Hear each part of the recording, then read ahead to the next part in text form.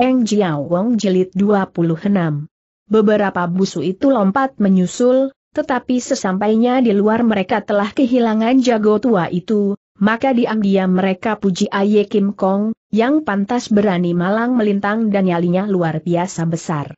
Go Chong Ye dan Sumasyu Chi yang lantas saja melakukan penjagaan, mereka naik ke atas genteng, akan memandang keempat penjuru dan menduga ke mana perginya si jago tua tiba-tiba mereka lihat satu bayangan berkelebat di arah timur, gerakannya gesit sekali, kakinya tidak menerbitkan suara apa juga.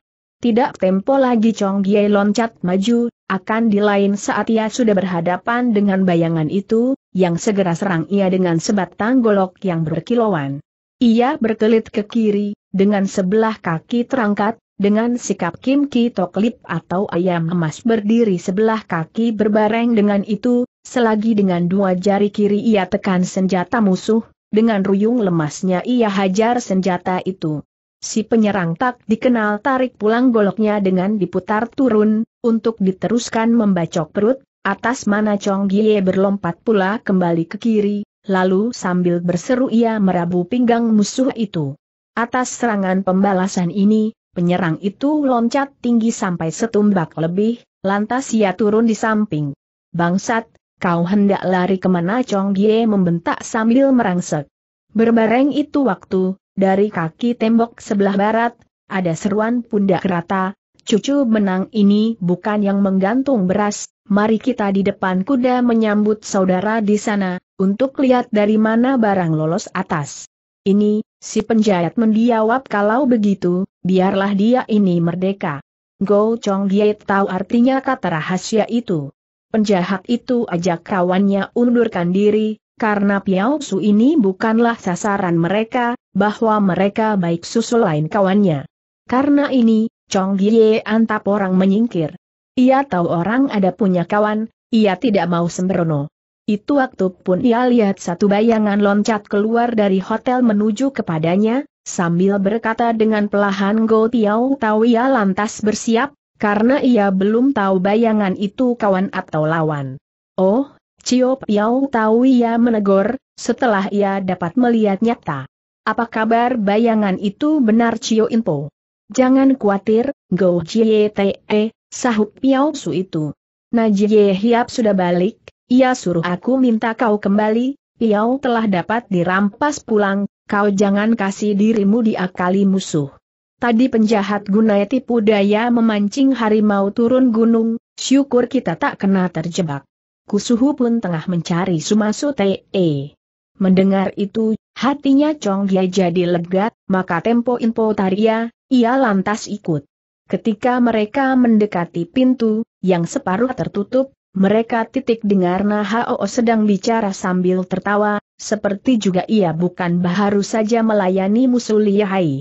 Jiawia sudah kembali? Bagus jago tua itu menyambut dengan suaranya di antara pintu angin. Kita jangan layani sebala kunyuk, segala maling ayam, biar mereka bikin onar sendiri. Aku si tua bangka memang paling bisa tahan sabar. Kita toh tidak rugi seberapa. Mereka putar otak, mereka repot, sia mereka menjadi pancalongok, mereka tak peroleh hasil. Sekarang kau bisa saksikan wajahnya itu kawanan rimba hijau yang tak tahu malu. Sekarang kita harus lekas berangkat dari sini, supaya kita tidak ganggu pemilik hotel dan sekalian tetamunya yang sedang enak tidur, agar kita tidak dicaci orang. Kita berangkat jam 5, segala urusan kita boleh bicarakan pula di tengah jalan. Go Chong Gie dan Sumasyu Chiang, begitupun yang lainnya, bungkam atas kata yang nyerocos itu. Baharu kemudian Siu Chiang tegasi, apa benar mereka harus berangkat jam 5? Musuh sembunyi di sekitar kita, apa mereka izinkan kita berangkat? Ia tanya pula sepasang alisnya jago tua itu bangun. Jangan khawatirkan itu, kata ia. Aku sudah lihat, tidak nanti mereka akan berani main gila pula. Tetapi sembari mengucap demikian, ia kedipi matanya. Sumasyu yang tidak banyak omong lagi, ia lantas minta semua orang bersiap. Ketika kentongan berbunyi lima kali, Nahao perintah Jongos sediakan air cuci muka dan air teh, Sesudah mana, mereka bayar sewaan hotel. Mereka berangkat jam 5 lewat tetapi cuaca masih remeng, tetamu lainnya masih tidur nyenyak. Untuk persiapan, orang membutuhkan lentera.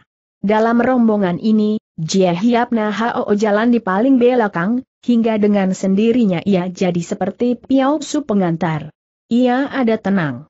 Tetapi kekhawatirannya Chong Hye berbukti bahwa penjahat tidak mau sudah dengan begitu saja. Jalan besar ada sunyi, penduduk masih belum bangun dari tidurnya. Selagi keluar dari pekarangan hotel, Chong Hye dan beberapa kawannya tampak satu bayangan berkelebat di atas genteng di rumah depan, tetapi memenuhi pesan Aye Kim Kong mereka diam saja, mereka cuma bersiap sendirinya. Dengan sabar orang jalan berot, cuma tindakan kaki kuda dan keledai yang terdengar nyata. Go Chong Gye lihat Jie Hiap tidak punya binatang tunggangan, sedang semua orang tak jalan kaki seperti dia, ia mau mengalah dengan serahkan kudanya, tetapi Jie Hian bersenyum, terus ia bersuit, menyusul mana dari pepohonan lebat di tepi jalan lantas muncul seekor keledai hitam, yang sesampainya di depan orang tua itu, lantas berhenti. Menampak ini, Chong Ye semua jadi kagum dan tertegun.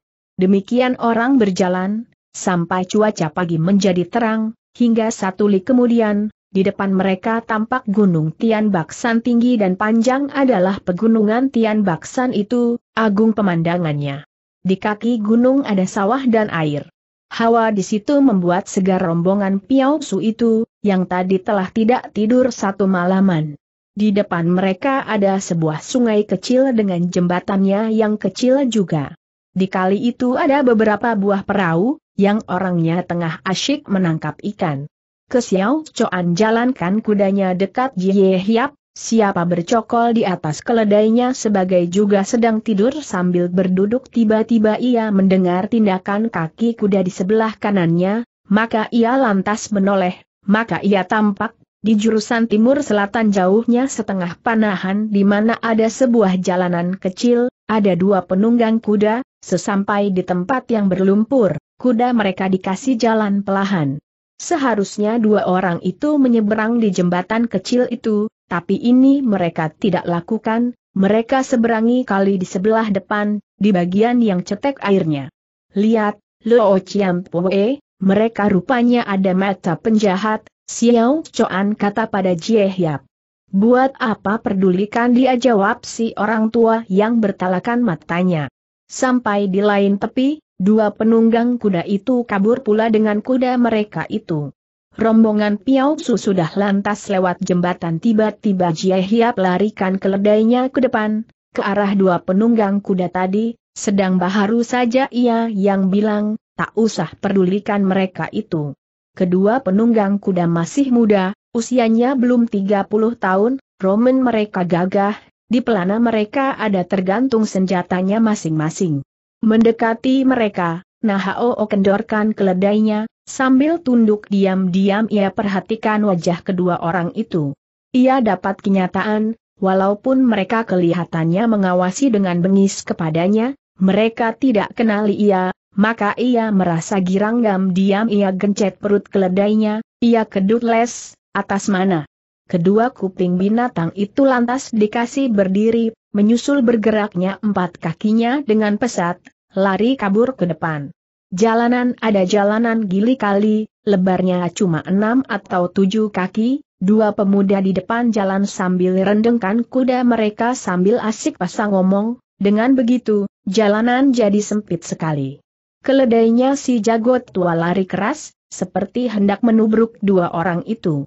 Tindakan kaki keledai terdengar nyata, dari itu kedua penunggang kuda itu sudah lantas menoleh. Orang yang di kanan keperak kudanya untuk dikasih loncat melewati kawannya, guna mengasih jalan.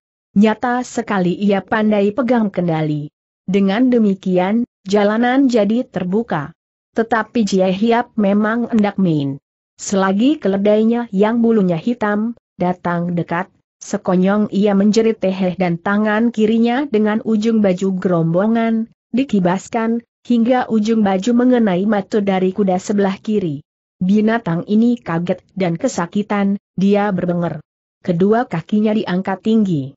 Syukur si anak muda pandai dan tabah, ia tidak meluncur jatuh dari kudanya itu, hanya celaka si kuda sendiri, sebab kakinya diangkat, terus saja dia nyelonong ke bawah gili ke sawah yang berair di mana dia berontak di antara lumpur.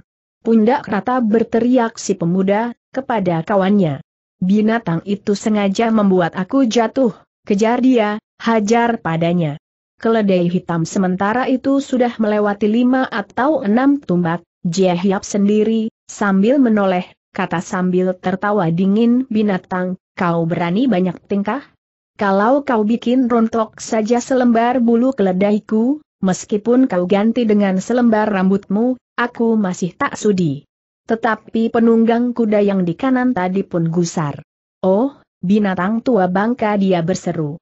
Kau berani permainkan Jie Taya. Jangan lari. Aye Kim Kong tertawa dingin dan menyahuti kau tidak merdeka lagi, bocah. Jikalau kau tidak puas, mari ikut aku. Dalam murkanya, pemuda itu larikan kudanya, untuk mengejar. Jie Hiap larikan keledainya di sepanjang gili itu di mana belum ada banyak orang berlalu lintas, di sebelah depan cuma ada dua orang desa. Kira sepanahan jauhnya, ia kendorkan larinya keledainya. Selagi pengejarnya mendekati, ia lihat, kawannya pengejar itu, yang jatuh ke sawah, sudah naik pula ke gili dan turut mengejar, keduanya terus mencuci maki. Ia tunggu orang datang lebih dekat, ia bukan tegur orang itu, ia hanya kata pada keledainya Hek Jie, sekarang aku hendak lihat kau. Orang ada terlebih besar daripada kau, dia tidak lihat mata padamu. Jangan kau main gila, nanti aku keset kulitmu. Keledai itu, Hek Jie si hitam, rupanya mengerti benar kata majikannya, ia memutar diri, ia lari, ke arah penunggang kuda yang sedang mendatangi itu untuk ditabrak. Orang muda itu terperanjat, tetapi ia heran dan mendongkol. Belum pernah aku saksikan keledai berani lawan kuda, pikir ia. Lantas ia berteriak binatang, kau berani cari mampus ia terus sayung cambuknya, untuk hajar kepala keledai itu.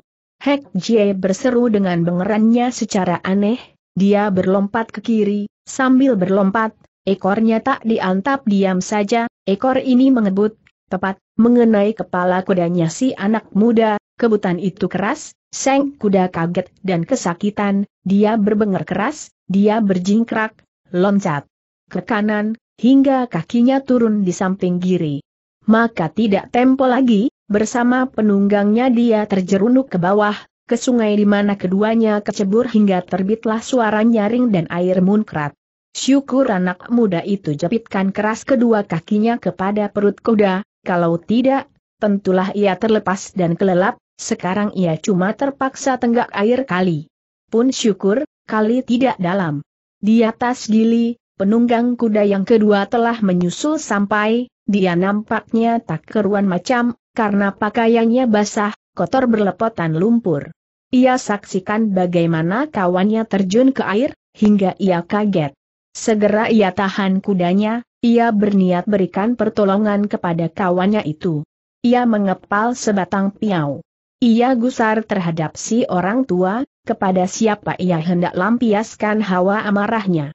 Nah Hao lihat kawan orang itu sampai, ia putar keledainya, sambil berpaling, ia kata pada orang itu bocah, kau kenalkanlah aku si orang tua, yang tak dapat dibuat permainan. Kau pun pergilah turun mandi. Perkataan itu belum habis diucapkan, atau sebelah tangannya, dengan ujung tangan baju yang gerombongan, sudah diayunkan, menyusul mana ada terdengar dua suara mengaung, dua potong uang Teng Cie terus menyambar ke arah pemuda itu. Dia ini kaget sekali, dia tidak bisa berkelit, sebab justru dia hendak turun dari kudanya, sedang kedua senjata itu menyerang berbareng kepada perut kudanya, di satu tempat, mengenai jitu. Bahna kesakitan, binatang itu berjingkrak, loncat keluar dari gili, hingga bersama penunggangnya kuda itu kecemplung dan kecebur ke kali. Nah Hao tonton orang berkecimpungan di dalam air, ia tertawa gelak, kemudian sambil menuding ia teriaki. Mereka, katanya aku si orang tua hendak berangkat terlebih dahulu. nanti saja kita bertemu pula. Benar ya kasih keledainya lari keras. Dua anak muda itu mengawasi dengan melongot, hati mereka panas. Tak dapat mereka mengejar, karena untuk bawa kuda mereka naik dari kali saja, ada sukar. Mereka juga tidak mampu pentang bacot untuk mendamprat, karena mereka telah tenggak banyak air kali, sampai perut mereka kembung maka mereka cuma bisa mengawasi saja. Aye Kim Kong, telah susul rombongan Piao Wusu, yang semua pada tertawa geli, karena puas sekali hati mereka menampak kedua orang jahat itu dipermainkan si jago tua. Mereka melihat jago tua itu mendatangi, mereka hendak memapaki, tapi Nahao kaburkan terus keledainya melewati mereka, maka terpaksa mereka lantas menyusul. Mereka percaya, sikapnya orang tua ini mesti ada sebabnya. Mereka sudah jalan lagi kira lima li, kedua penjahat tadi tidak susul mereka. Masih saja si orang tua berdiam, Chong dia heran atas kelakuan itu. Kenapa lo Ociam Poe diam saja akhirnya ia tegur. Tidak apa, aku kebetulan ingat janjiku, sahut Jie Hiap. Seraya ia menoleh. Aku ada janjikan satu orang, temponya. Hari ini dan saat ini juga, apa mau aku telah mesti layani dua penjahat tadi, hingga aku lupa kepada janji itu. Sekarang aku mesti tepati janji, aku mesti berangkat lebih dulu. Baiklah di depan saja, di Tiok Kau Hoo, tidak 20 li dari sini, kita nanti berkumpul pula, ia memandang ke belakang, ia tambahkan penjahat itu kena dihajar, umpama mereka menyusul, mereka akan ketinggalan satu perhentian, kawanmu bakal mendahului sampai, maka biarlah aku jalan lebih dulu. Tanpa tunggu jawaban, jago tua ini larikan keledainya. Go Chong dia heran tetapi ia diam saja. Orang tua itu benar aneh. Marilah ia ajak kawannya. Jie Hiap kabur dengan keledainya ke arah timur selatan, kemudian dengan ambil sebuah jalan kecil, ia menuju ke timur, ia lewati dua kampung, hingga ia tak terlihat lagi oleh rombongan Piao Su. Di sini ia putar haluan, akan kembali dan menuju ke Tian Baksan, akan mendaki Bukit Ciat Hiang Nia. Karena lihainya keledai hitamnya itu, ia telah lalui 20 li lebih dan sampai di mulut jalan dari Bukit Ciat Hiang Nia. Di sini ia loncat turun dari atas keledainya, ia tepuk punggung keledainya sambil berkata Hek Jie, inilah tanah datar di mana kau bisa memain dan makan dengan merdeka, tetapi ingat, aku larang kau naik ke atas, di sana ada banyak serigala dan harimau, kalau kau naik, pasti kau bakal digegares mereka. Keledai itu bernapas sengal, tetapi empat kakinya berdiam, ia seperti dengar dan mengerti pesan itu. Nah pergilah kata Jia Hiap kemudian seraya tangannya dikibaskan. Cepat sekali binatang itu lari ke dalam tempat yang lebat dengan pepohonan, setelah mana, majikannya sendiri mulai mendaki bukit Ciat Hiang Nia itu. Jalanan di sini penuh dengan pohon cemara. Di atas pun banyak pepohonannya.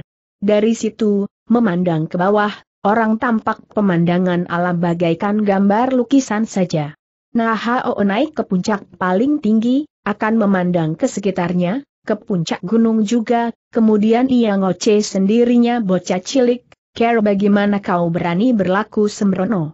Apabila kau berbuat kesalahan, apa kau kira? Jiwamu masih ada. Dasar aku yang cari penyakit sendiri. Bocah ini bernyali terlalu besar. Kita berdua terlalu gemar campur urusan lain orang, kebetulan kita berkumpul bersama. Ia memandang pula ke bawah, di mana kelihatan banyak rumah penduduk, yang merupakan gubuk dan guha. Teranglah sudah, penduduk situ hidup dari berburu atau bertani. Di gunting itu ada banyak beburonannya. Kemudian, ia mulai bertindak turun. Tanpa merasa, lama sudah ia lewatkan sang tempo, hingga sekarang ada waktunya orang masak nasi untuk santapan malam. Di kaki bukit ia berpapasan serombongan pemburu yang habis berburu, dengan beberapa rupa binatang sebagai hasilnya. Anak istri mereka menyambut dengan gembira, mereka sambuti hasil perburuan itu dan simpan alat senjata berburu, pemburunya sendiri lantas duduk beristirahat akan bercakapan, akan minum untuk melenyapkan dahaga. Di lain pihak, orang tani pun sudah mulai pulang dari sawah dan ladang mereka, akan berkumpul pasang ngomong dengan si pemburu. Selama mendekati mereka, Nahao lihat orang berkumpul di luar, lelaki dan perempuan, tua dan muda, untuk duduk bersantap. Nampak nyata sekali mereka hidup senang dan gembira walaupun hidup mereka serba kekurangan. Mereka cuma bisa pakai lumayan, dahar cukup, tubuh sehat, mereka tak punya kesenangan seperti orang kota. Toh mereka hidup puas. Maka itu, jago tua ini jadi kagum. Setelah datang dekat, Nahao memberi hormat. Lalu ia tanya tempat itu apa namanya, apa di situ ada kuil atau tempat pondokan lainnya? Satu pemburu umur 40 lebih, mukanya merah, alisnya gomplok, menyauti dengan balik tanya, tetamu ini. Pesiar di gunung atau sedang lakukan perjalanan. Dia kata, di situ tidak ada kuil, ada juga di barat utara, di puncak Lok Gan Hong, kuil Chiat Ho Siye, pendetanya empat atau lima, kuilnya kaya dengan hasil perkebunan teh, maka siapa mondok di sana, boleh tak usah bayar apa. Dia pun mengundang untuk minum teh dan dahar, sikapnya ramah tamah sekali. Memang Aye Kim Kong merasa lapar dan haus, ia terima undangan itu. Ia kata, pada lima tahun dulu, ia pernah datang ke Tian Baksan ini, cuma ia tidak datangi bagian ini hanya ke sebelah barat utara di mana katanya ada orang yang berjualan. Ia mengucap terima kasih, ia menimbrung di antara orang gunung itu dan dahar. Ia pun disuguhi arak. Kau beruntung sekali hidup cukup di gunung ini ia puji mereka. Arak ini begini wangi, apa ini boleh beli di kota? Kau keliru menerka, sahabat, kata si pemburu. Kami dapat uang dengan menukar dengan jiwa, masakan kami sudi menghamburkan uang. Arak ini ada buatan kami sendiri. Kalau kau gemar minum, hayo minum lagi. Aku berlaku kurang hormat kata Nahao, yang lalu tanya Shi dan nama orang. Seorang yang romannya sebagai ketua, perkenalkan diri sebagai Cagie, dan kawannya itu, yang mengajaki minum bersama, katanya ada si setan arak Liutong. Tanpa minum arak, dia tak mau pergi berburu, sesudah minum, dia paling berani hadapi beburonan kata ketua itu. Ah, ketua, kenapa kau buka rahasiaku kata si setan arak itu. Kemudian ia pun tanya si dan nama tetamunya. Aku Shina, anak kedua, sahut Hoo. Aku tidak punya lain nama, orang biasa panggil aku Ojie. Maka kau pun baik panggil aku Ojie. Mereka lantas minum. Aye Kim Kong suka bergaul kepada Liu Tong yang ramah tamah dan polos, usianya 20 lebih. Ia tidak sangka, di belakang hari mereka berdua berjodoh untuk bertemu pula satu dengan lain. Habis dahar, Nahao pamitan. Cuan rumah tawarkan ia menginap pada mereka tapi ia menampik dengan alasan ia hendak susul kawan. Ia pun kasih selamat berpisah pada Liu Tong. Melanjutkan perjalanannya ini, Nahao mesti jalan di bawah sinarnya bintang dan rembulan, ia menuju ke arah yang si pemburu tunjukkan. Jalanan yang sukar, tidak jadi rintangan baginya. Maka di akhirnya, ia mulai tampak bayangan kuil. Ia tahu, itulah puncak Klok Gan Hong. Ia bertindak terus. Selagi ia jalan, tiba-tiba dari sebelah kanannya ia dengar helaan napas dan kata ah, sayang, satu jago kenamaan, pandainya cuma akali nasi dan arak orang. Dia harus ditabok. Tanda petik. Mendengar itu, Jago tua ini terperanjat, tetapi tanpa bersangsi ia loncat ke kiri, akan situ baharu loncat pula ke kanan, akan lihat orang yang buka suara itu. Ia bergerak sangat gesit, akan tetapi ia tidak lihat siapa juga. Baharu sekarang ia heran, sebab ia tahu, ilmu tengi tubuh ada istimewa kali, sukar tandingannya. Kenapa di sini aku ketemu orang lihai pikir ia. Ia tidak mau mencari lebih jauh, ia jalan terus, dengan masgul. Baharu ia sampai di kaki puncak, di sebelah kirinya ia dengar pula suara orang, suara yang dalam, katanya orang Ketsuna, Jangan kau tidak puas. Segera kau akan lihat. Tanda petik. Nah Hao jejak tanah untuk loncat naik ke atas pohon di depannya, ia injak cabang dari mana lantas ia mengawasi ke arah kiri, tetapi walaupun ia sudah bergerak gesit luar biasa, ia masih tidak dapat lihat orang yang buka suara itu. Ia insaf akan lihainya orang itu, tetapi ia pun menduga bahwa orang niscaya tidak berniat jahat terhadapnya. Hanya, kalau dia ada orang dari pihak Chin Tiong Sam Niao, itulah sulit. Lantas jagot tua ini turun dari pohon, ia lanjutkan perjalanannya tanpa pedulikan lagi orang tidak dikenal itu, ia menuju langsung ke Chiat Hosie, yang segera juga mulai tertampak tegas. Dengan bertindak lebih cepat lagi ia sudah lantas sampai di kuil itu, di sebelah timur. Dari sini ia menuju ke depan, untuk perhatikan kuil itu. Selagi bertindak, ia dengar suara cabang pohon di sampingnya, disusul oleh ucapan orang Kate, kenapa kau masih begini agungan? Kalau kau ayah lagi sedikit, jiwanya satu bocah akan lenyap. Bagaimana kau nanti ada muka untuk ketemu orang? Mau atau tidak? Nah oh kaget. Segera ia lompat nyamping. Siapa kau ia menegur. Tetapi ia tak peroleh jawaban. Ia pun tidak lihat orang. Cahaya rembulan melainkan menyinari pepohonan. Mau atau tidak jago tua ini menjadi ibuk juga. Ia, satu jago yang dimalui, sekarang menghadapi satu orang yang terang ada terlebih lihai daripadanya. Ia terutama bingung karena tak tahu orang ada kawan atau lawan. Tetapi ia tidak puas, hingga ia mau anggap orang itu adalah musuh, musuh dengan siapa ia niat adu kepandaian. Maka diam ia siapkan dua batang Kim Kong Yan Bwe Piao dalam genggamannya.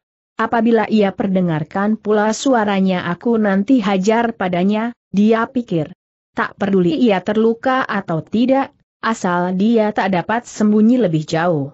Lantas ia mulai perhatikan keletakannya Chiat Hosie, yang berkedudukan di puncak paling tinggi dan ambil tempat luas, banyak pepohonannya, siong, pek dan bunga. Pintu depan nampaknya angker. Loncat naik ke atas pintu, Nahao memandang ke barat dan selatan. Ia bukan hendak menikmati keindahan seng malam, ia terus pergi ke pendopo.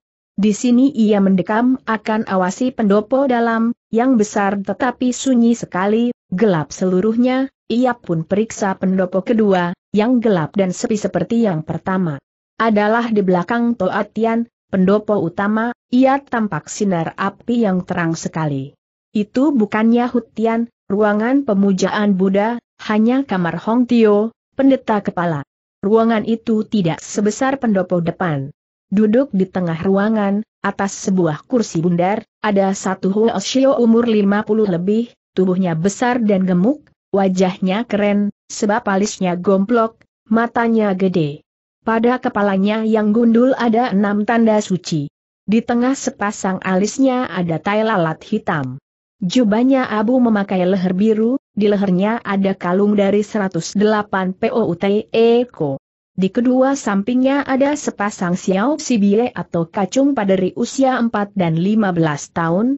Dia pun didampingi lima huos hio muda yang semuanya menyeka golokai to'o atau toya siantung. Rupanya pendeta beroman bengis itu baru saja bercokol atas kursinya itu. Nah Hao sembunyikan diri di genteng timur, akan pasang metu bawa binatang cilik itu kemari, aku mesti ketahui asal-usulnya demikian suara bengis dari pendeta itu. Salah satu Huoshio lantas pergi ke samping, terus ke belakang. Teranglah salah satu murid kaumku tertawan di sini, pikir Nahao. Aku janjikan Liong Jie bertemu di Chiat Hiang Nia, ia tidak muncul, aku khawatirkan dia. Mungkinkah dia yang terjatuh di tangannya pendeta ini? Ia tidak sempat menduga, kelihatan Huoshio tadi kembali bersama dua Huoshia lain, yang mengiringi satu pemuda dengan rambut kusut dan muka kotor, kedua tangannya ditelikung. Dia ini didorong ke depannya Huoshio bengis itu. Benarlah dugaan Aye Kim Kong, pemuda itu adalah Chiok Liong Jiang. Ia jadi sangat mendengkol. Ia sedang tempur Chin Tiong Sam Niao, Siapa tahu sekarang cucu muridnya kena orang tawan. Tapi ia menahan sabar, ia pasang metu dan kuping. Ia ingin saksikan tingkah polanya si pendeta, ia ingin tahu sifatnya cucu murid itu. Liong Jiang berdiri dengan tegak, tak sedikit pun menunjukkan takutnya hati.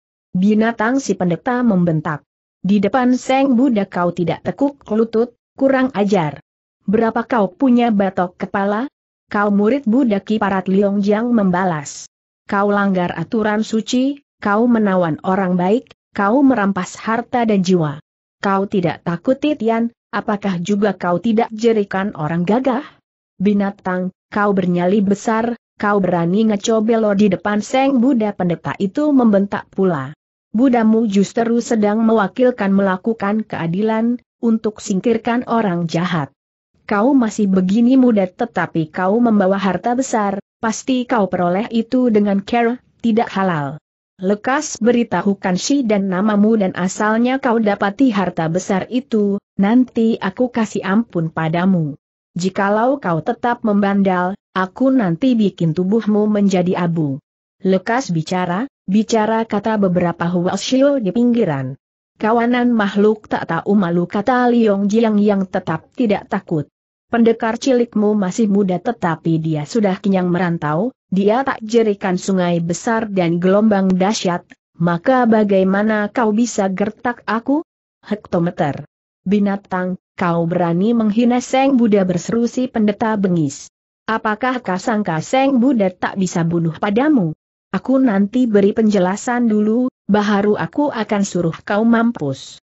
Sebenarnya aku sayang kau sebab kau muda, bugamu sudah lihai, aku ingin tolong kau, supaya kau menjadi murid Buddha, aku tanggung di belakang hari kau bakal menjadi kesohor. Tetapi apabila kau ngoceh tak keruan, gampang untuk aku ambil jiwamu. Tetapi Liong Ji yang tertawa menghina. Pendeta jahat, kaulah yang tak tahu diri dia membaliki. Pendekar cilikmu ada murid orang kenamaan, aku pandang kematian seperti rumput. Aku berani merantau, itu artinya aku sudah tak pandang lagi jiwaku. Aku telah terjatuh ke dalam tanganmu, terserah padamu untuk kau bunuh atau tidak. Baikkah segera bunuh aku, jikalau tidak, Aku nanti caci maki padamu. Binatang, kau benar tidak tahu diri pendeta itu murka besar. Hajar dia seratus rotan. Perintah itu diturut. Liong Jiang digusur ketihang untuk diikat di situ. Satu Huoshio lain keluarkan sebuah cambuk rotan. Lekas kau minta ampun, atau aku nanti hajar kau kata si Huoshio Alkojo. Aku tak sempat ngobrol jawab Liong Jiang. Kalau kau masih ngoce, Aku nanti damprat juga padamu. Kau benar cari mampusmu menjerit Huelshio itu. Percuma jikalau aku tidak robek kulit dagingmu. Tidak ampun lagi, Huelshio itu ayun cambuknya, dia gunai tenaga sekuatnya. Liong Ji yang tutup matanya, ia tak pikirkan pula jiwanya. Selagi cambuk terayun naik, pendeta itu berkauk aduh cambuknya terlepas dan jatuh, tubuhnya pun menyusul rubuh bergulingan, dari mulutnya terus keluar jeritan teraduh. Semua pendeta itu kaget. Tapi pendeta yang tua segera berseru ada musuh. Bekuk dia.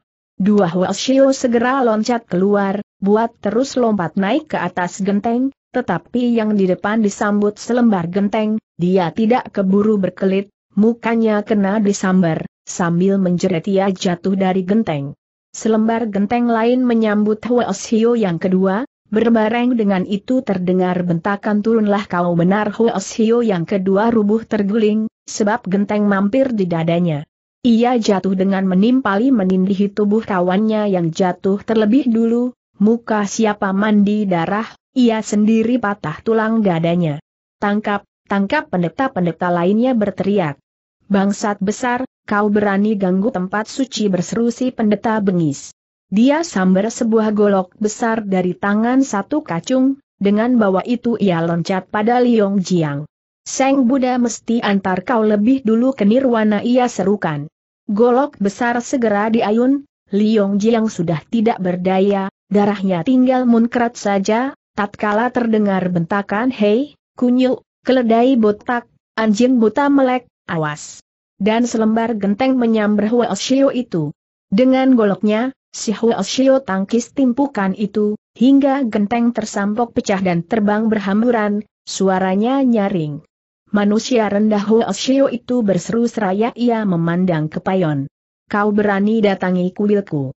Lekas kau turun untuk terima binasa.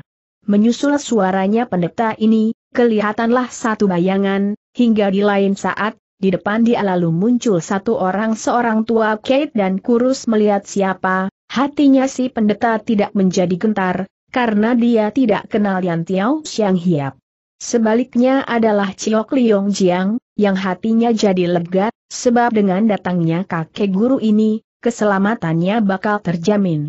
Malah ia segera keluarkan antro tenaganya, untuk berontak. Untung untuk ia, orang pun tidak ikat terlalu keras padanya dengan kerahkan tenaganya, sekejap saja ia bisa loloskan diri hanya ketika ia terus berlompat akan dekati Nahao, tubuhnya jadi limbung.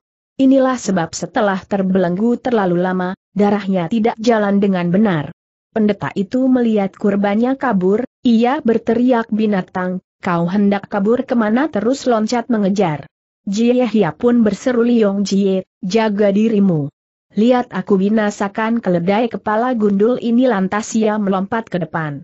Menghadapi si orang tua, pendeta itu batal mengejar Liong Jiang. Tua bangka, kau berani ganggu urusan Seng Buddha, aku terpaksa mesti langgar pantangan membunuh dia berteriak. Jie Hiap tertawa mengejok. Oh, Keledai Gundulia jawab kau ada satu murid Buddha tapi kau berani bunuh orang dan merampas harta, kau justru telah langgar pantangan dengan sengaja, dosamu tambah satu tingkat. Bukankah kau tahu care bagaimana kau harus mampus? Aku si tua gemar usilan, walaupun demikian, tanganku tidak berbau amis darah, apa pula kau adalah murid Buddha, yang biasa ciacai, yang berjubah suci, maka terhadap kau, Aku suka berlaku murah hati. Aku inginkan kau mati sempurna, dan itu, pergilah kau gantung diri sendiri. Pendeta itu gusar bukan kepalang, sampai ia menyebut Tomio Tohut. Binatang kau kurang ajar sekali terhadap Seng Buddha, mustahil aku tidak mampu bikin mampus padamu. Ia lantas lompat menyerang dengan goloknya.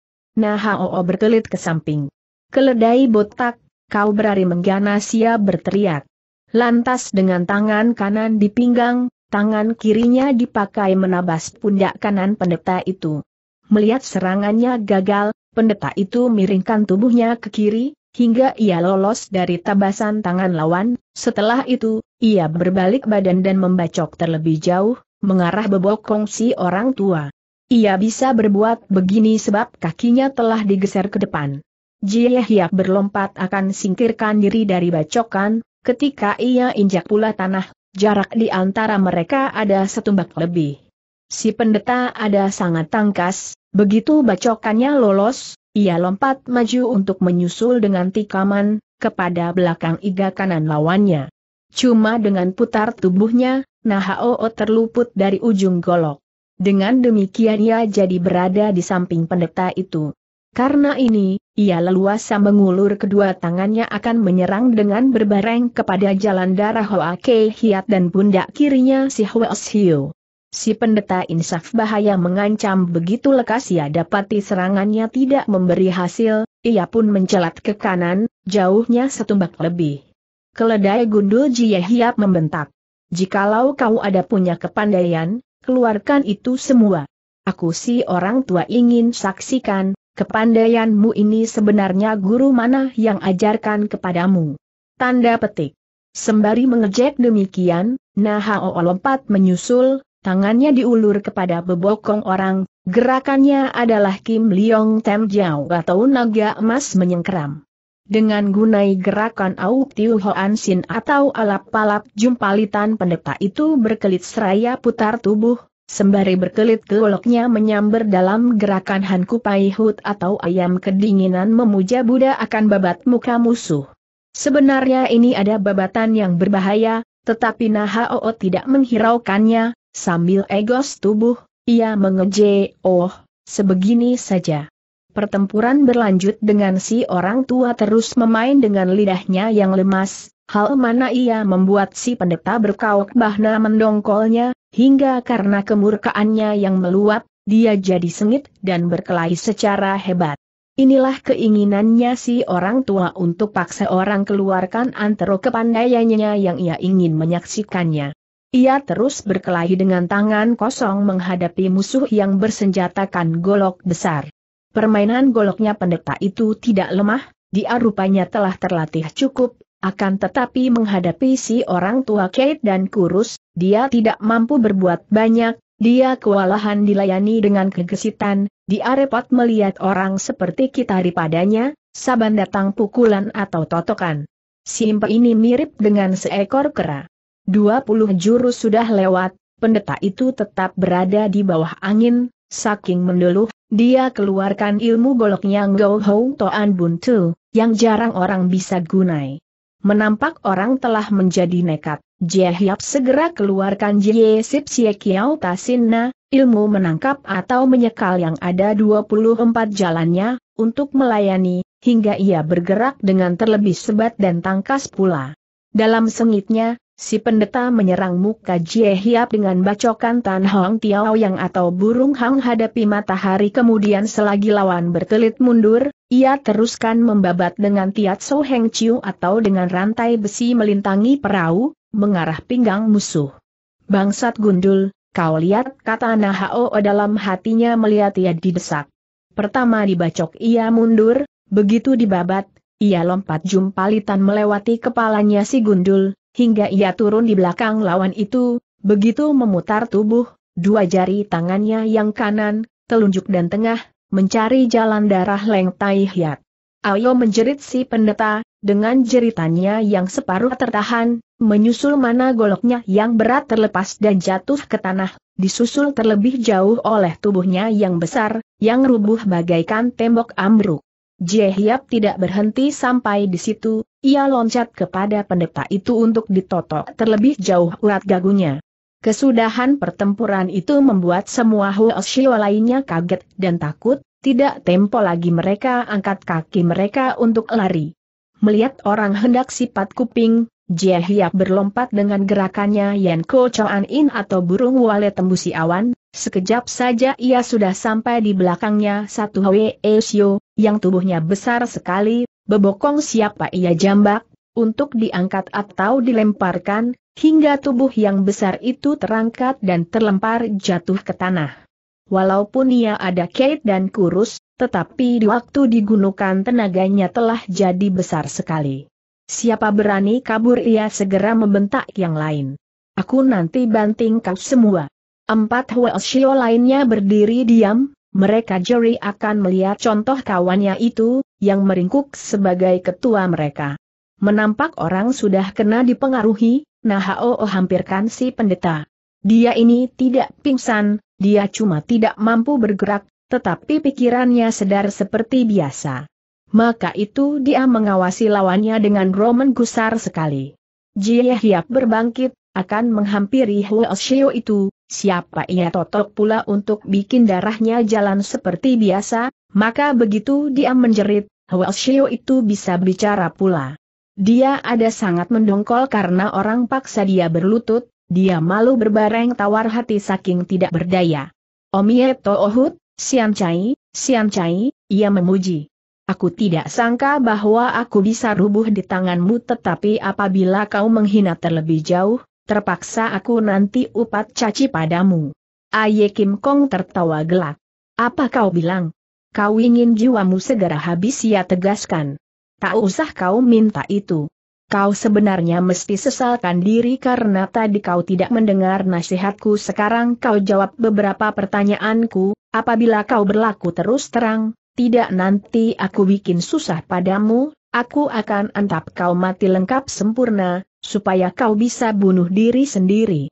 Jikalau kau tidak tahu diri, aku tidak pedulikan apa juga, aku nanti hukum picis padamu, hingga neraka pun tak akan sudi terima kau. Pendeta itu bersangsi untuk melompat kabur, ia bisa lakukan itu, tetapi ia sangsikan hasilnya. Ia insaf lihainya si Kate kurus itu, sedang Liong Jiang dengan goloknya di tangan, siap sedia di sampingnya. Memang, sambil mengawasi dengan mata tajam, Liong Jiang telah pikir asal kau mencoba kabur, paling dulu aku akan tabas satu lenganmu. Hayo, Huo kau bicaralah Nahao kata pula. Kau memikir yang bukan apabila kau hendak main gila terhadap aku si orang tua. Aku rubuh di tanganmu, inilah rupanya sudah takdirnya berkata si pendeta dalam murkanya. Baik kau perkenalkan dirimu, supaya aku tahu siapa yang sudah sempurnakan diriku kau ada satu orang Kang Ou, pasti kau bukannya seorang tak ternama, apabila kau tetap tidak mau sebut namamu, sampai mati pun aku nanti cuci maki padamu. Sayang sekali aku, Kim Chulohan Go Seng telah mesti terbinasa di tangannya satu anak haram, sungguh sangat tidak berharga. Ah! Pendeta itu belum sempat tutup mulutnya atau ia telah perdengarkan seruannya ah itu. Ucapannya anak haram menyebabkan Liong Jiang gusar hingga segera punduknya dikemplang dengan belakang goloknya sendiri. Sekarang gak merasai sakit bukan main, sampai kesumsumnya maka dia jadi sangat benci pada si anak muda, yang dia hendak damprat. Keledai gundul membentak Nahao, yang mendahului pendeta itu. Kau berani keluarkan perkataan kotor, aku nanti bunuh padamu. Bentakan ini membuat Gong Seng, demikian nama suci si pendeta, jadi bungkam, karena ia kena terpengaruh. Dengan keluarkan kutukan tak nyata, ia lantas duduk diam saja. Tetapi Nahao tidak buktikan ancamannya. Angkat dia bangun, kita tak dapat bunuh padanya kata Jia Hiap kemudian. Liong yang tercengang, hingga ia termangu mengawasi kakek guru itu. Dengan sendirinya ia pun menjadi ragu. Jia pandang cucu murid ini. Apakah kau belum puas dia tegur? Kenapa kau tidak mau lantas letaki golokmu itu? Coba dia sebutkan siang bahwa dia adalah Kim Tulohan Go sekalipun cuma satu kemplangan belakang golok, tak dapat kau lakukan. Mendengar ini baharulah pemuda itu sadar. Ia insaf, rupanya gurunya ada punya suatu hubungan dengan pendeta ini. Maka segera ia lemparkan golok yang dipegangnya. Tetapi ia tetap mendengkol. Sucou, aku mohon keterangan, kata ia pada kakek guru itu. Apa mungkin kita dari Hoa Yang Pei yang putih bersih ada punyakan suatu orang rimba hijau sebusuk dia ini? Aye Kim Kong tertawa gelak. Bocah cilik, pandai sekali kau menanya. Janganlah kau tempel catat pada muka kita kata ia. Murid dari Lek Tiok Tong, Cheng Hang Po, tidak nanti ada yang merantau sebagai pendekta merangkap jadi begal berandal, aku larang kau ngoceh tak keruan. Ingat, jangan kau menambahkan kegusaranku. Liong Ji yang tahu benar adatnya Sucowo ini, yang gusar dan girang tak dapat dibedakan, maka itu, lantas ia berdiri dan sambil turunkan kedua tangannya. Sekonyong pendeta itu angkat kepalanya. Omia Tohu Tia memuji. Loosu, adakah kau dari Hoa Yang Pei? Apakah kau bukannya Hiap Kekian Tiao Xiang Hiap? Nah Hao tertawa berkakakan. Maaf, aku bukannya satu Hiap Kek jawab ia. Aku si tua bangka ada orang Cina nama Hao. Malam ini aku telah berdosa terhadap Lohanya, tak dapat tidak aku bakal masuk ke dalam roda penitisan. Oh, Lohanya, aku mohon pertolonganmu, harap kau mintakan keampunan kepada Jilehut, jikalau tidak, tak dapat aku hidup lebih lama pula. Baharu sekarang Kim Lohan Go Seng, Lohan atau Argat si golok emas, ketahui orang tua Kate kurus itu ada Aye Kim Kong Na Hao, Yan Tiao Xiang Hiap yang kedua, tidak ayal lagi ia tekuk kedua kakinya, ia merayap maju satu tindak, dengan kedua tangan dirangkap untuk memberi hormat, dia manggut. Elo oh Hiapke, harap maafkan Teeko untuk kelancangan Teoko ini, ia memohon. Aku harus mampus, aku ada punya mata, tetapi tidak ada bijinya, hingga aku tidak kenali kau. Elo oh Hiapke, terimalah hormat dan maafnya Teocu. Lagi ia manggut. Nah Hao tidak gusar, ia hanya tertawa geli. Jangan kau tidak pakai aturan tata sopan, berkata ia. Kau adalah Lohan, dan aku Kim Kong. Kim Kong ada satu pangkat yang rendah sekali, sebagai Kim Kong aku kena pukul lohan yang sakti suci, Apakah dengan begitu tidak harusnya aku disambar geledek? Masih si pendeta berlutut, tak berani dia berbangkit berdiri. Jangan godai aku, Lo Chiam Poe, memohon dia. Jikalau Lo Chiam Poe tidak mengasihani aku, pastilah aku bakal terbinasa dengan tak ada tempat untuk kuburanku. Baiklah, Go Seng Suhau, kata Aye Kim Hang kemudian. Bangunlah. Mari kita bicara. Sebenarnya aku bingung benar melihat kau. Kau ada murid Buddha, kau letaki kitabmu, kau tak membaca doa, sebaiknya, kau menjadi begal. Apakah artinya ini? Mustahil gurumu sudah ubah cara hidupnya? Lo Chiam Poe, harap kau tidak godai aku pula, Go Seng masih memohon. Sebenarnya aku malu sekali dengan pertemuan ini. Dalam halku ini, guruku tidak tahu menahu. Pada lima tahun yang lampau, karena nampak bencana, guruku mendongkol, ia tinggalkan kuil Kim Hut Siye di Bukit Oeye Kong, ia pergi sembunyikan diri di curam Cian Tiang Gei, puncak paling tinggi dari Gunung Hengsan, untuk meyakinkan lebih jauh ilmu silatnya.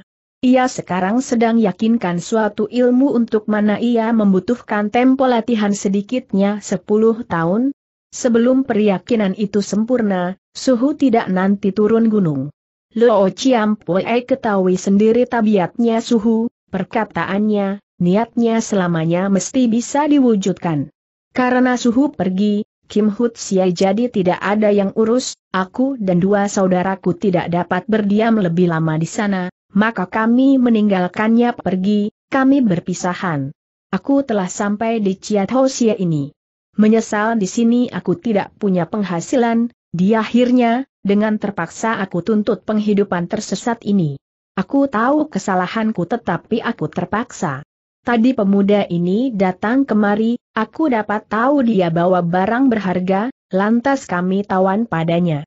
Kalau dia sebut nama Lo Chiampoe, tidak nanti aku berani ganggu padanya, dan pula kalau Lo Chiampoe tidak bermurah hati, pasti siang aku telah terbinasa.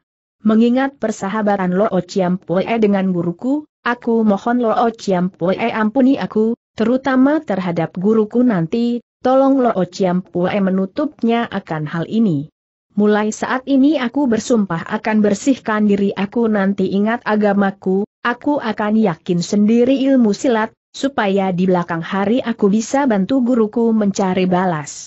Sudah tentu aku tidak akan lupakan budinya Lo Chiam Pue ini. Aye Kim Kong bersenyum dia anggukan kepala. Hwa bangsat, tak usah kau goyang pula lidahmu. Kata dia dengan tidak sungkan. Kita adalah bangsat ketemu bangsat, siapa mainkan kunyuk, dia jangan menabu gemreng saja. Kau jual apa, aku lakukan apa. Biasanya aku berlaku terus terang, kau telah terjatuh ke dalam tanganku, kau mesti sesalkan dirimu sendiri. Bukankah kau pernah dengar bahwa aku biasa makan maling? Tidak pernah aku melepaskan pula maling yang rubuh di tanganku, maka kau juga tidak menjadi kecuali. Jikalau kau ingin aku tidak beber rahasiamu, kau mesti dengar aku, umpama kata aku perlu uang, kau mesti menyediakannya uang atau peraknya. Untuk makan dan minum, kau juga mesti menyediakannya, Apabila ada sedikit tak memuaskan aku, kau mesti tahu sendiri. Kau selalu mesti hunjuk muka manis kepadaku, jangan kau sesali aku. Kalau aku sedang senang, bisa jadi aku nanti wakilkan gurumu membersihkan rumah tangganya. Kau mengerti, bukan? Liong Jiang melengos, ia hendak tertawa geli tetapi ia mesti tahan. Sucounya itu ada terlalu jenaka dan jail, perkataannya tak keruan tetapi pun tajam. Lo Chiam Poe, biar bagaimana aku mohon kau kasihani aku. Kim Tu Lohan Gou Seng lagi memohon.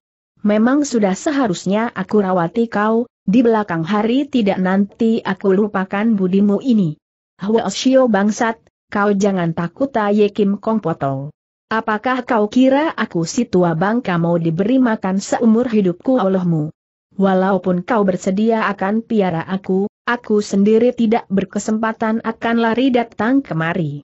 Aku ada seorang paling adil. Jikalau kau tidak celakai aku, aku tidak nanti celakai kau. kita mesti berlaku jujur, siapa pun jangan berhati jahat. Kau berpura tolol kepadaku, aku pun berpura tolol kepadamu. Kau dengar terang, bukan? Mendengar demikian, bukannya Gou Seng mendongkol atau gusar, ia justru insaf kekeliruan atau kelalpaannya.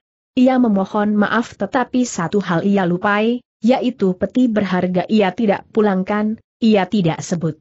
Tidak heran kalau Aye Kim Kong masih saja ngoceh tak keruan. Maka lekas ia berbangkit. Lo Chiam Poe, tolong perintah Xiao Hiap ikut aku akan ambil peti berharga itu, ia kata. Asal kau mengerti, sudah cukup Jia Hiap tertawa buat aku, kau serahkan itu kembali atau tidak, bergantung kepadamu sendiri. Aku adalah seorang yang tak takut untuk orang curangi, karena aku tahu, akhirnya orang toh tak dapat mencurigai aku. Kan jangan sungkan diri, jikalau kau punyakan pikiran demikian, pergi kau ambil sendiri, tak usah kau diikuti. Umpama kau memikinya buat lari, aku si tua bangka berani bertaruh denganmu. Aku biarkan kau lari lebih dahulu sepuluh li jauhnya, lantas aku kejar kau, jikalau sebelum jam lima aku tak dapat candak padamu, Kecewa aku disebut Tian Tiao Xiang Hiap. Oh Lo Chiam Poe, jangan kau curigai aku, kata Gou Seng dengan cepat. Walaupun Te Ko bernyali sangat besar, tidak nanti Teocu berani berbuat demikian, sebab itulah berarti Te Ko cari mampus sendiri. Lantas Kim Tulohan lari ke kamarnya, akan ambil peti berharga, yang mana dengan kedua tangannya, dengan hormat sekali, ia serahkan pada si jago tua. Peti ada terbungkus dan terkunci, tetapi ia telah bikin rusak hingga tak dapat dibetulkan lagi. Dengan muka merah, bahna malu ia kata Lo Chiam tolong terima ini. Kalau ada yang kurang, Teocu bersedia untuk menggantinya. Jehia Ye Kim Kong tertawa gelak-gelak. Orang yang baik, kau salah metu berkata dia. Buat apa aku periksa lagi? Kau jangan khawatir. Aku malah anggap kau telah tolong simpan dan jaga barang berharga ini. Barang ini bukan kepunyaanmu, bukan juga kepunyaanku, tetapi mulai saat ini, apa yang kurang, kau yang mesti ganti. Gong Seng menyahutnya, ya, berulang, karena ia insaf, walaupun ia diejek, Aye Kim Kong ngomong dari hal yang benar. Memang dialah yang mesti bertanggung jawab untuk keutuhannya peti berharga itu.